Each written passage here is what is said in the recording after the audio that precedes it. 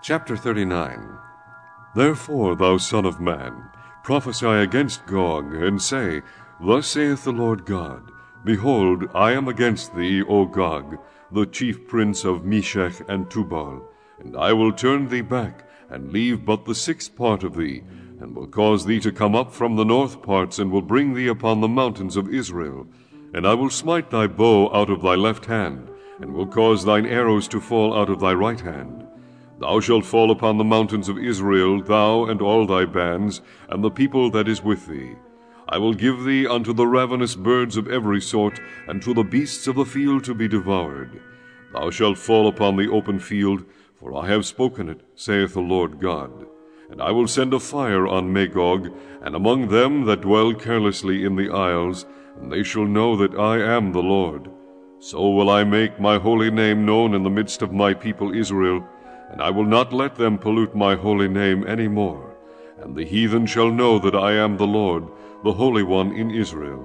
Behold, it is come, and it is done, saith the Lord God. This is the day whereof I have spoken. And they that dwell in the cities of Israel shall go forth, and shall set on fire and burn the weapons, both the shields and the bucklers, the bows and the arrows, and the handstaves and the spears, and they shall burn them with fire seven years. So that they shall take no wood out of the field, neither cut down any out of the forests.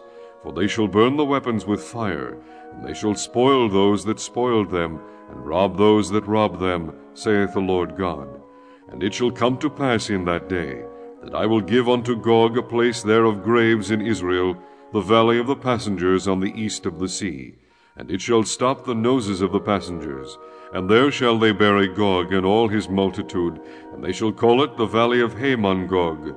And seven months shall the house of Israel be burying of them, that they may cleanse the land. Yea, all the people of the land shall bury them, and it shall be to them a renown the day that I shall be glorified, saith the Lord God. And they shall sever out of men of continual employment passing through the land to bury with the passengers those that remain upon the face of the earth, to cleanse it. After the end of seven months shall they search.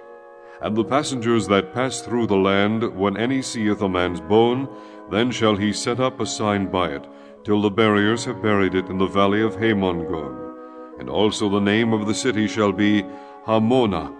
Thus shall they cleanse the land.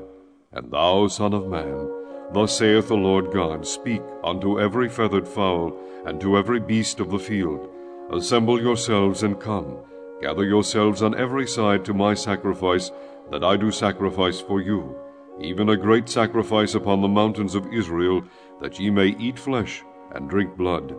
Ye shall eat the flesh of the mighty, and drink the blood of the princes of the earth, of rams, of lambs, and of goats, of bullocks, all of them fatlings of Bashan.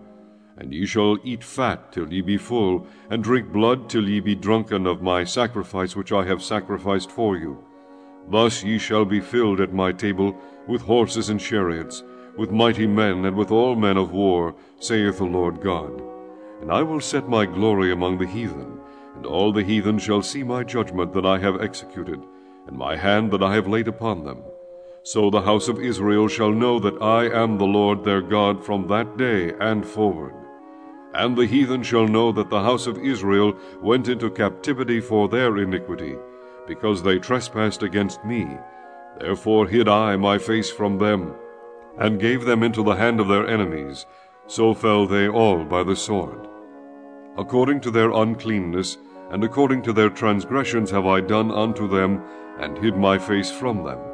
Therefore thus saith the Lord God, Now will I bring again the captivity of Jacob, and have mercy upon the whole house of Israel, and will be jealous for my holy name.